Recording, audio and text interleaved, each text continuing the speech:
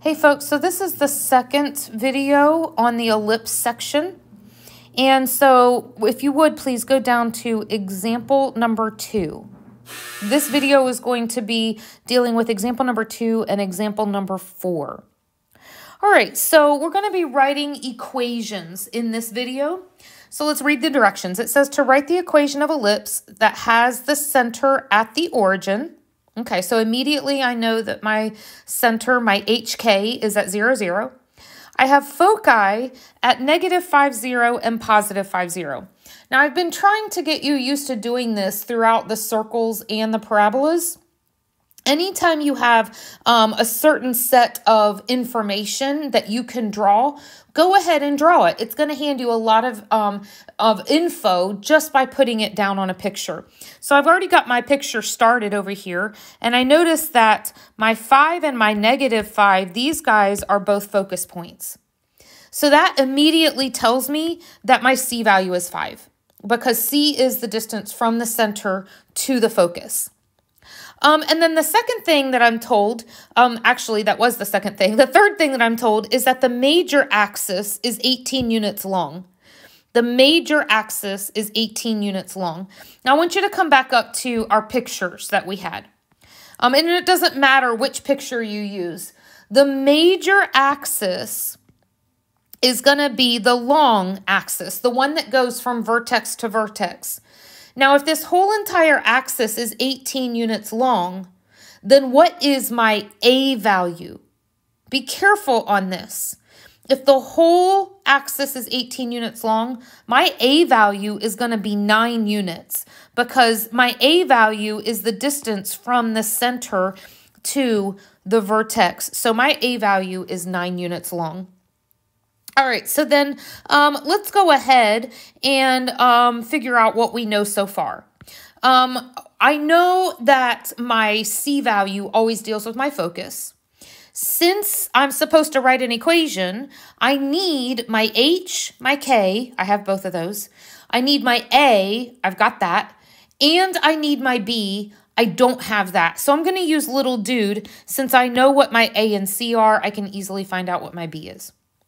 All right, so we'll plug in what we can. And uh, my C squared is going to be 25. My A squared is going to be 81. I'll add B to both sides and subtract 25 from both sides. So my B squared is, is 56. Okay, so the goal was to write an equation. So let's start writing our equation. Um, up on top for the first fraction, it's fraction plus fraction equals 1. Up on top for the first, fraction, I'm going to have x squared, or you could say x minus 0 squared, because my hk is 0, 0. For my second fraction, the numerator is going to just be y squared. Again, you could put y minus 0 squared, but of course, we, we would want to clean that up. Now, the next thing you have to decide on is which is the larger denominator. Well, when I look at my picture, I can tell that this is going to be a horizontal ellipse. So my larger denominator needs to be under the x's. My a squared needs to be under the x's. So my a squared then is going to be 81. My b squared I found was 56. So this is the equation. This is what I was asked to do, and that's the only thing that I was asked to do. All right, let's take a look at part B. Part B says, again, write an equation. The center this time is at 2, 0. So I know that this is my h and k. Remember, to write an equation, you need your h, your k, your a, and your b. The minor axis is equal to 6 units. The major axis is equal to 9 units, and the major axis is horizontal.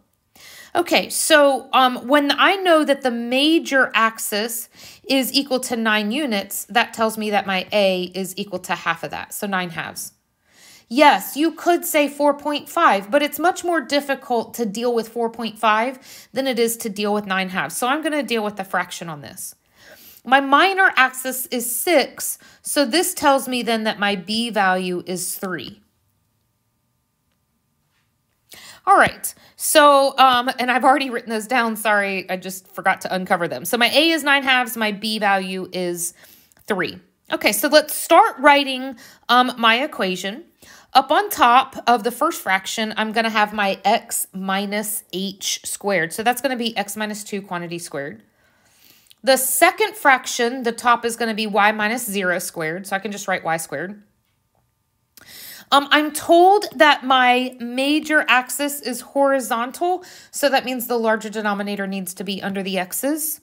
So my larger number then, uh, my a squared is going to be 81 fourths. And you say, well, how did you get that? Well, 9 halves times 9 halves is 81 over 4. By the way, it's a lot easier to square 9 halves uh, mentally than it is to square 4.5 mentally. Just saying. All right, my um, bottom of my second fraction, my b squared, is going to be 3 squared, which is 9. Now, to be honest with you, I'm totally fine with this as an answer. Um, I can't remember if my lab will accept this as an answer. I think it does. Let me know if it doesn't.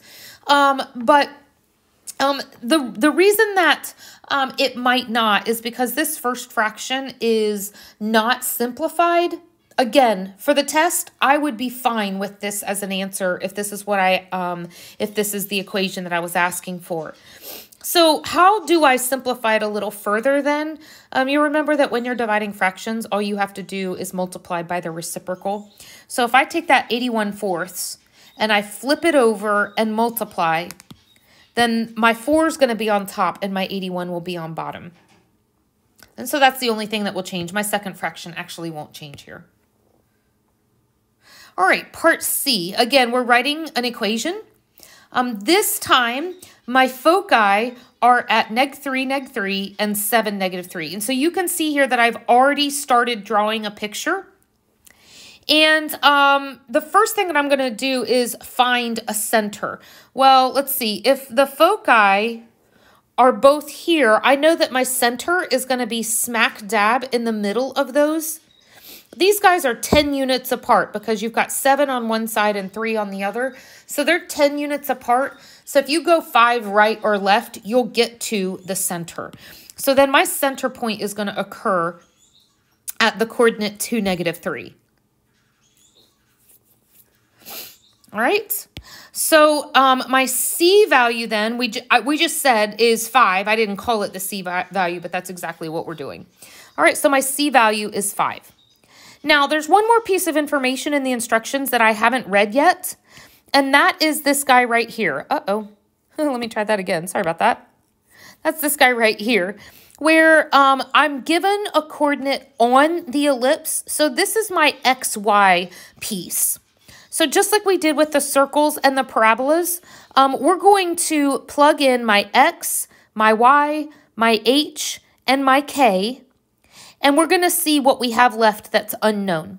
All right, so in the first fraction, you've got um, uh, my x value is 2, my h value is 2, so you're going to have 2 minus 2 quantity squared over a squared. And maybe for a moment you're saying, wait a second, Miss Roberts, why is the a squared under the x's?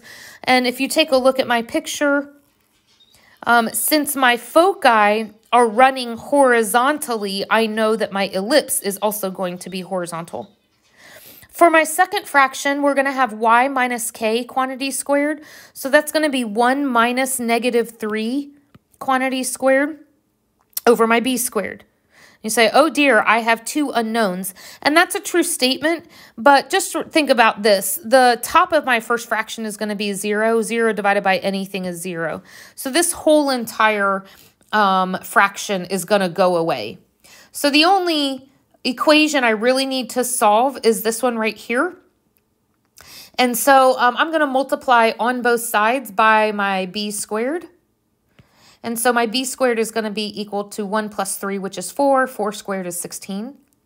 So then um, I now have uh, my b squared. Now remember, you've got to have your h, your k, your a, and your b to be able to write the equation. So far, I have my h and my k, I have my b squared. The last thing I need is that a squared. So let's use little dude because I have my c value and I have my b value. We'll use little dude to find my a value. So we've got 25 for c squared is equal to a squared minus my b squared, which is 16. Um, just go ahead and add 16 to both sides, and that'll give you 41. So my a squared is equal to 41. All right, so now I'm ready to write my equation. I have all four pieces. So um, the top of my first fraction is going to be x minus 2 quantity squared. Since this is um, a vertical, I'm sorry, since this is a horizontal ellipse, um, my a squared is going to be underneath my x's. And then my second fraction, the top is going to be y minus k quantity squared. So that's going to be y minus negative 3 quantity squared. My b squared I already found to be 16. So this is going to be your equation. The reflection question on this, we've actually already um, we've already answered this in the introduction of ellipses. So if you go back to the first video, you can find this on what do A, B, and C represent, and you can you, you can answer that. All right, example number four. In example number four, I'm asked to do several things. The first thing is that I'm asked to write the equation in standard form. Then I'm asked for the center. I'm asked for the vertices, and I'm asked for the endpoints. Okay, so I'm asked for all of these, and this is the equation that we're working with. This is going to require um, completing the square. So the first thing that I'm going to do, let me zoom in a bit here. The first thing that I'm going to do is I'm going, I need to get rid of those A values. So I'm going to take my X's and I'm going to factor out the A value of 4. Um, I'm fortunate on this one. My Y's don't have an A, so I don't need to factor anything out of my Y's. I only need to factor out of my X's. All right, so when I factor a 4 out, this is going to be 4 times the quantity x squared plus 6x. And you need to leave yourself some space for completing the square. Then let's add to that our y squared minus 8y. Again, leave some space to complete the square. And last but not least, my 12 is on the other side. And for now, I'm really just ignoring that 12. Okay, so when we go to complete the square for the x's, we want to take half of our b, which is 3. We want to square that, which is 9. And at first you might think, well, we're going to add 9 to both sides. But that's not necessarily true. I'm not adding a 9 because this is a 4 times a 9. All right, so let me uncover this and show you what we're what we're going to be looking at here. Oh, that's just a repeat of what I had before. Um, I'm going to be adding 9 but really, the value of that is a 4 times a 9. So you'll notice on the other side, I didn't add a 9. I added a 36 because it was a 4 times a 9. Okay? Now, completing the square on the y pieces, we'll take half of our negative 8, which is negative 4. Squared is 16, so we'll add 16 to both sides. All right, now I'm ready for factoring my trinomials. Okay, so this first piece, I've got my 4 out front that I'm ignoring.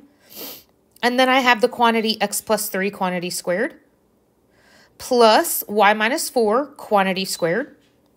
On the right-hand side, I need to combine my like terms.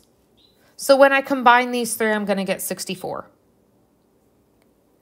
Now, this is starting to look like my standard equation, but remember my standard equation requires a 1 here. So let's divide all three terms by that 64, and then we can reduce fractions. So here I'm going to reduce the 4 and 64. The y's don't have anything to reduce. So that'll be x plus 3 quantity squared over 16 when I reduce, plus y minus 4 quantity squared over 64 is equal to 1. So the direction said, first of all, write the equation. Okay, so now I have the equation. Secondly, let's give the center. Well, the center is going to come from my HK. So my center is going to be at negative 3, positive 4. Negative 3, positive 4. The next thing I'm asked for is going to be the vertices. All right, now, before I uncover these vertices, sometimes um, it's very helpful to just draw a little miniature picture of what you have. So I know that my center is at negative 3, 4. Okay, notice I, I haven't even drawn axes or anything like that. I just know where my center is. The larger denominator is under the y's. So I know that my vertices are going to go up and down from my center. Well, if they're going up and down, it's the y value that is changing. And um, my y value here that's changing is going to be, uh, let's see, the a value because the distance from the center to the vertex is a value. My a value is going to be 8 because my a squared is 64. So I'm going to go up 8 units and I'm going to go down 8 units to get to my vertices. So then you have vertices at negative 3, 12 and negative 3, negative 4. Again, if you go from 4, if you go up 8, you land on 12. From 4, if you go down 8, you land on negative 4. The last thing that I'm asked for is the ends of the minor axis. So if I go back to my picture here, the ends of my minor axis have to go right and left, and the right and left value is going to come from my b squared. So my b squared is 16, therefore my b value is 4. So if I go right 4 and left 4, I will find the ends of the minor axis. And so if you're starting at negative 3 and go right 4, that'll land you at 1. If you go, if you're starting at negative 3 and go left 4, you're going to land on negative 7. Notice the y value is not changing there. All right, so that was everything that that particular question asked for me to do. Let's go to part B. Um, this one, I'm asked for a little bit less. I'm still asked for the equation, and I'm asked for the center, and I'm asked for the vertices. So the first thing I have to do on my equation, I'm going to need to factor out the a value, that 9, and I also need to factor out the a value for the y's, which is 16. So I have two sets of factoring on this one. All right, so when I factor out the 9, I'll have x squared minus 4x. Leave yourself space to complete the square.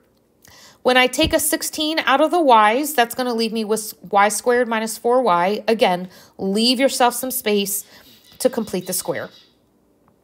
All right, so let's um, start completing the square. Half of b is going to be negative 2. Negative 2 squared is going to be 4. Now, don't think you're adding 4 to both sides. I am adding 4 on the inside of the brackets, but remember, this isn't truly a 4 this is a 9 times a 4.